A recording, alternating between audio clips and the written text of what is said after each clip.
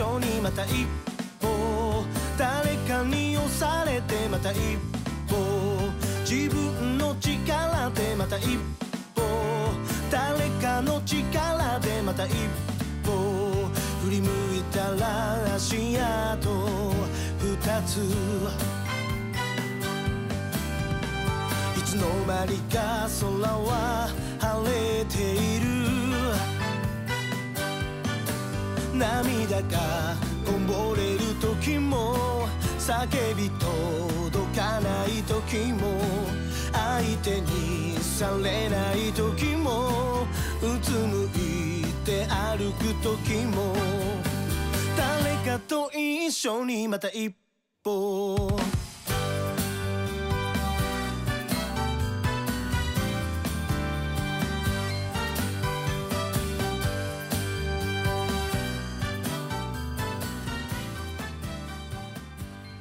おはようございます。関根博之です。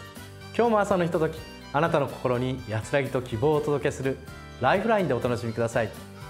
さて今日の番組はこの7月に福島県で行いましたライフラインの集いの様子をお届けいたします。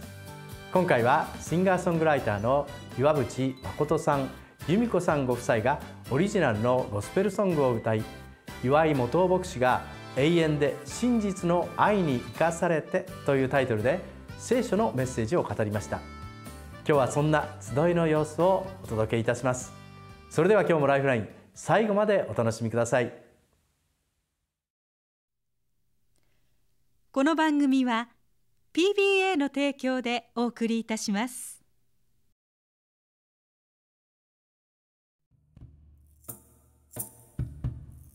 こ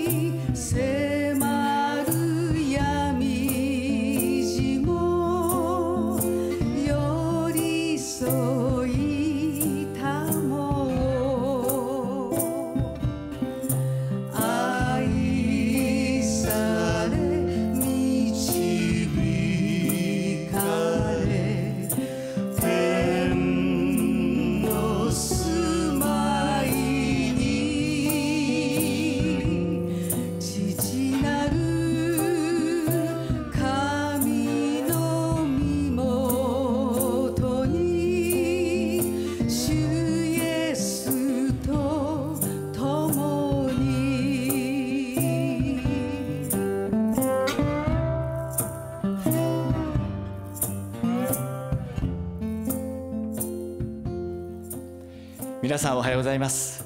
今日はライフラインの集い in 福島ということで福島からこの番組をお届けしています。福島には様々な悲しみがあり今なおそれが続いています。10年前の東日本大震災変わったこともありますけれども変わることのない痛みがあり涙があるそのことを回されます。皆さんはいかがでしょうか。私たちは悩み苦しみます。しかしある方が言いました。私たちは苦しむことができる存在なのだと。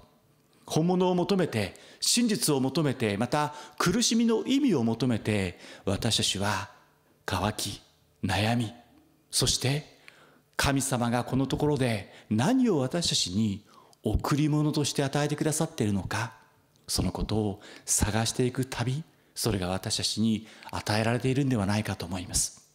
苦しみの中で受け取りたいことがあります。第一にそれは神様の永遠の愛です。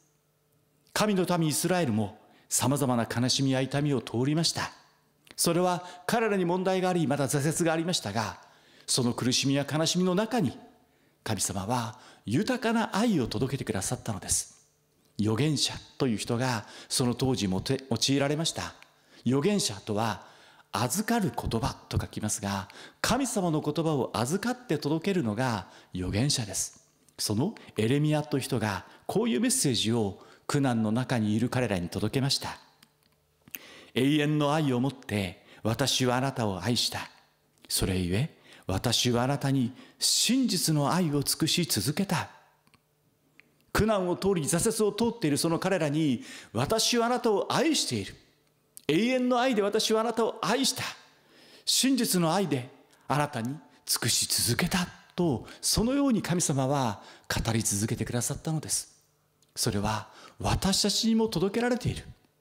どんな苦難があっても涙があってもそこに神様の永遠がある。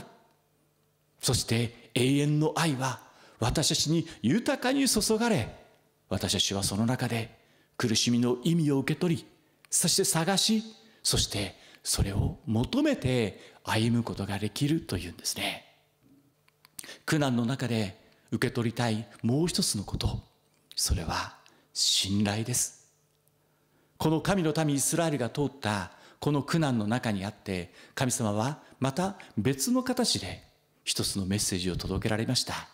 それが旧約聖書の愛歌というところにありますがこの聖書の言葉はこのコロナ禍にあって私自身が幾度も味わいそして受け取り直しているその聖書の言葉です。お読みします。愛歌の三章です。主はいつまでも見放してはおられない。主はたとえ悲しみを与えたとしてもその豊かな恵みによって人を憐れまれる。主が人の子らを意味もなく苦しめ悩ませることはない。神様は私たちを意味もなく苦しみ悩ませることはない。私たちはどんな苦難の中にあってもこの聖書が語る神様に信頼することができる。神様に信頼を置き神様を信じて歩むことができる。苦難の中を痛みの中を。神様は苦難を通る神のためにそのようにメッセージを伝えてくださったのです。今なおこのコロナ禍にあってまさに人生の土台生活の土台が揺るがされている方罹患され本当に健康そのものが命そのものがさまざまな痛みを通った方も少なくないかもしれません。けれども神様はこの痛みや悲しみの中にあっても意味を持っていらっしゃる。目的を持っていらっしゃる。その中にあって私たちは限りある命限りある人生ですが永遠を求めて歩むことができる神様はこのことを通しても私を求めなさい私に信頼しなさいと私たちを招いていてくださることをぜひ覚えたいと思うんですね。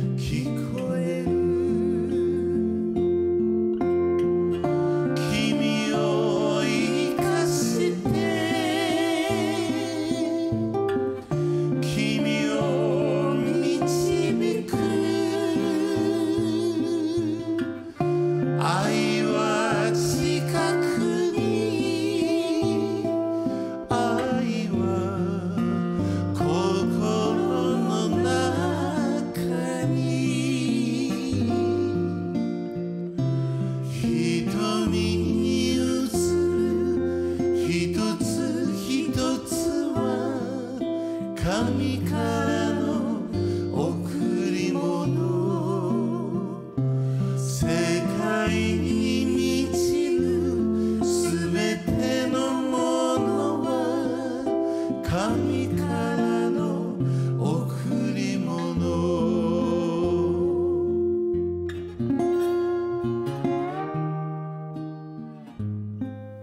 3つ目の聖書の箇所を意味したいと思います。ペテロ第一の手紙の2章22節から25節です。キリストは罪を犯したことがなくその口には欺きもなかった。罵られても罵り返さず苦しめられても脅すことをせず正しく裁かれる方にお任せになった。キリストは自ら十字架の上で私たちの罪をその身に追われた。それは私たちが罪を離れ義のために生きるため。その打ち傷のゆえにあなた方は癒された。あなた方は羊のようにさまよっていた。しかし今や自分の魂の牧者であり監督者である方のもとに帰った。羊のようにさまよっていた。本来のあるべき姿を見失いそして迷い出ていた私たちを神様は限りない愛永遠の愛真実の愛で愛し尽くしてくださりそして私に信頼しなさいと招き続けてくださってそればかりではなく真実の愛の成就として御子キリストをこの地上に送ってくださったのです。それは私たちが本来のあるべき姿に帰りそして癒されるためだと言うんですね。イエス・キリストは神ご自身です。しかしその神の在り方を捨てて人としてこの地上に来てくださいました。それがクリスマスです。キリストはこの地上に来てくださったのは私たちの苦しみを共に味わうためであり私と共に歩んでくださるためでした。そして何よりもあの十字架において私たちの罪の裁きを身代わりに受けてくださるその命がけの愛を表すためにこの地上に来てくださりあなたに代わってあなたの罪の裁きを身代わりにあの2000年前の十字架で受けてくださったのです。確かにそれは2000年前の出来事です。私には関係ないと嘘ぶくこともできるかもしれません。しかし神ご自身である方の2000年前の出来事も今あなたに与えられている素晴らしい贈り物なのです。父の涙という矢渕さんたちがこのお嬢さんの死という大きな悲しみを通る中で与えられた一つの歌があります。お嬢さんの脳腫瘍という大きな悲しみその手術本当にその悲しみに寄り添いつつどうすることもできないその痛みその時にお二人は神様の愛イエス・キリストの十字架とその十字架を見つめる父なる神様を思い出された。そしてあの父の涙という有名な歌が生まれたそうです。私はこの歌を聴くたびに一つのストーリーを思い出すのです。有名なお話ですので皆さんもご存知かもしれません。1937年にアメリカで起こった出来事でした。ミシシッピーという大きな川に架かる羽橋というその橋の出来事事故でした。ジャン・グリフィスという一人の機械師がその橋を司っていました。彼がバーを下げると大きな橋が下がって列車が通過していくことができる。そして船が来る時にはそのレバーを上げて橋を上げて船を通していくというその機械師。彼には8歳の息子がいそのグレッグというその少年と共にある時お弁当を持ってそのお父さんの職場を訪ねたそうです。とてもこのグレッグはもう好奇の目を持ってお父さんの仕事を見ます。お父さんが間を引くとあの大きな足がゆっくり下がっていく。お父さんすごいね。またお父さんがバーを上げるとその橋がゆっくり上がっていく。そんな姿を見ていて本当にグレッグは感動したそうです。ふっと気がつくと遠くからこの列車がやってくるその合図音が聞こえてくる。ジャンがその時計を見るとなんと1時7分。メンフィスエクスプレスがやってくるその時間。実は橋は上がったままだったのです。彼は慌てます。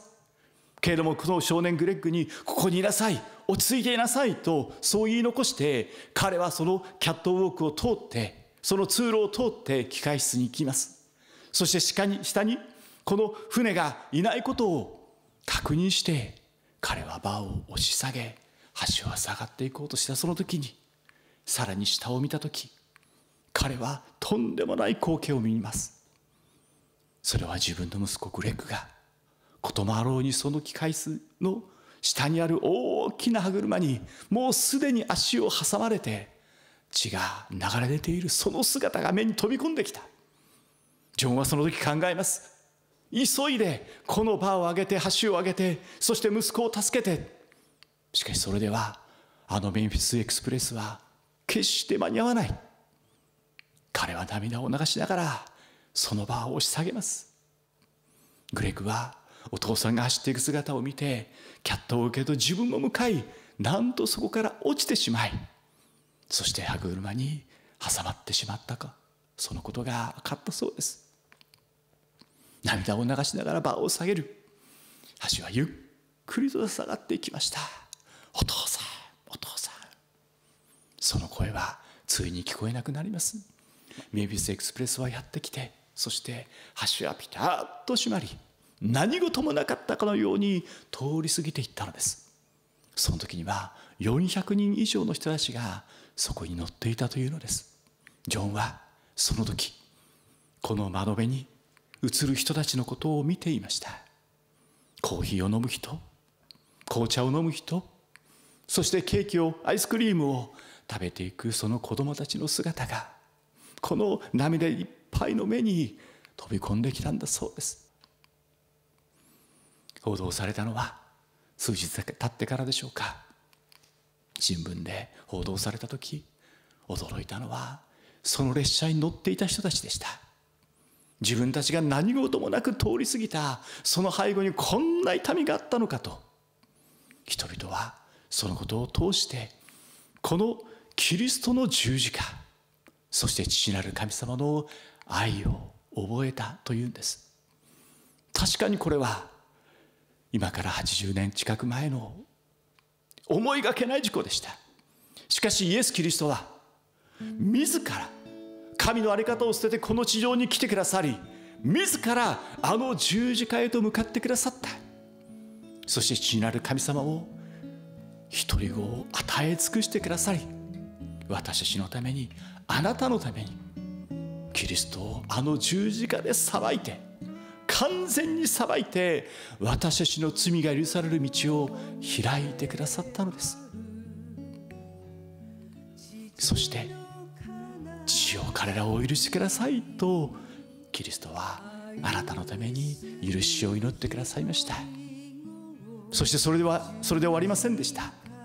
キリストは十字架にかかって全ての裁きを受け尽くしてくださった後3日目に死を打ち破って死に勝利してよみがえってくださったからです。そうです。私が苦難の中で受け止めることができる3つ目はこの希望です。死に打ち勝ってくださったキリストにある希望を私たちは受け取ることができ先にこの地上の生涯を終えた方々ともまたキリストにあって私たちは会うことができる。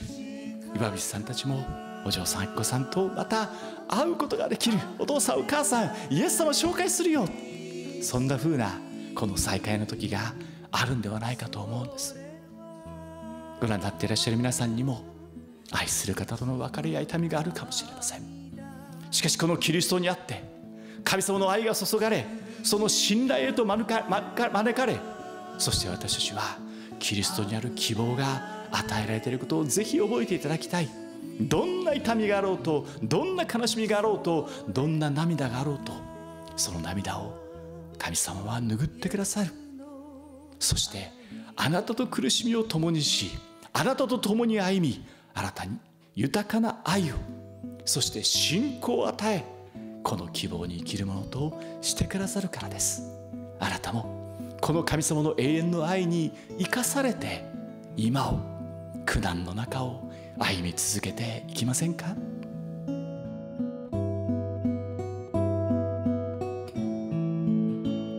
父が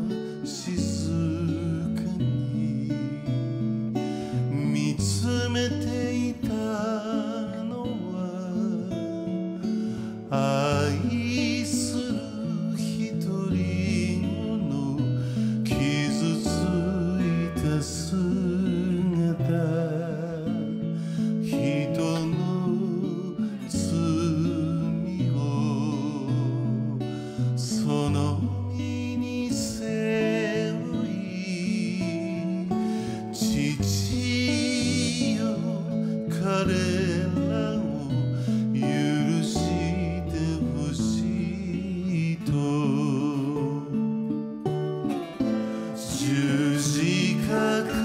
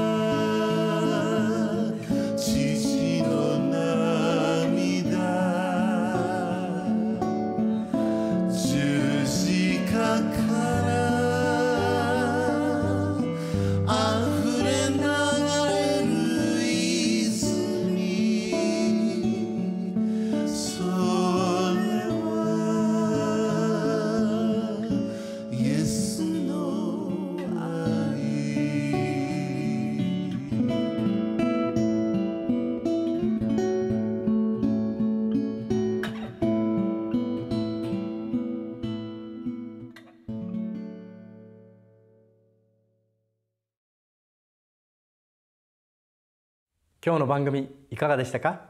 番組ではあなたからのご感想のお便りをお待ちしています。また聖書を読んでみたい教会に行ってみたいという方は番組までご連絡ください。聖書通信講座やあなたのお近くのキリスト教会のご案内をさせていただいています。それでは視聴者プレゼントのお知らせです。今週はこちらの CD ヘブンリーを抽選で12名の方にプレゼントいたします。この CD は今回の集いの音楽ゲスト岩渕誠さんのもので今日の番組の中で紹介した父の涙贈り物が収録されています。番組への感想を添えてご応募ください。係への宛先はご覧のところです。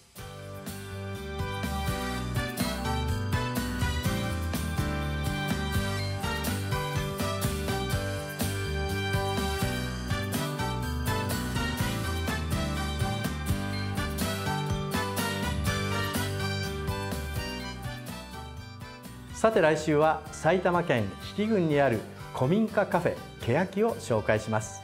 どうぞお楽しみに。それではまた来週お目にかかりましょう。ごきげんよう。さようなら。